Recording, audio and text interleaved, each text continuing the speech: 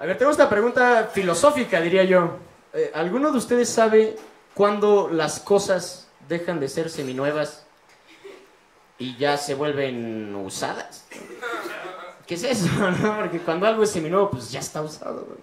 Pero me puse a pensar y la verdad es que la palabra seminuevo se escucha mejor que la palabra usado, ¿no? O sea, como un ejemplo, alguien saliendo de un bar, como, güey, acabo de ir al baño y, y alguien había dejado un condón seminuevo ahí. güey". Se, escucha mejor. O sea, si tú escuchas de una sex shop que vende cosas usadas, dices, güey, qué asco. Pero si son seminuevas, se escucha accesible. y creo, creo que la palabra seminuevo funciona mucho para otras cosas. ¿no? O sea, si, estamos, si usamos esta misma lógica que yo le estoy dando en, en, no sé, algo así como, como los orfanatos, ¿no?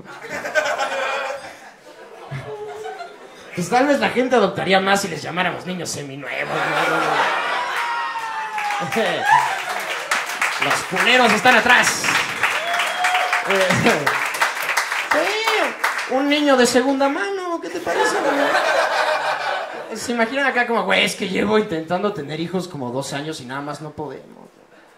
Ah, pues en segundamadre.com yo veo que se ven aguantadores.